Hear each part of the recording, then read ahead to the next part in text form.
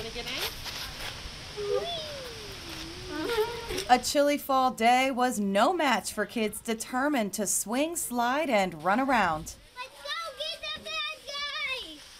I enjoy many things. I like the tires, I like playing on those, and I like the slides. We kind of live on the swings for the majority of the time that we're here. That's where that's where she likes to be. Families gathered at Thompson Park to have one last play. Come next week, the playground will be closed and crews will start taking down equipment to make way for a new playground. My kids have loved being here over the years. They've uh, loved everything from the swings to the jungle gyms to um, just running around with their friends.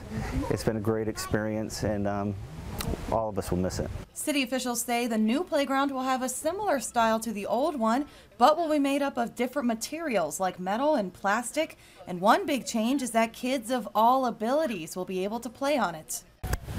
And while many are sad to see the playground go, they're looking forward to seeing the changes with the new one. I think that's really great. I grew up coming here, um, but to know that it's going to be accessible to more people, I think that's fantastic. I'm pretty excited to see what it, they could build this into. This is pretty good. The new playground is expected to be complete by next summer, just in time for kids to get out and soak up some sun and some fun. In Watertown, Alex Valverde, Time Warner Cable News.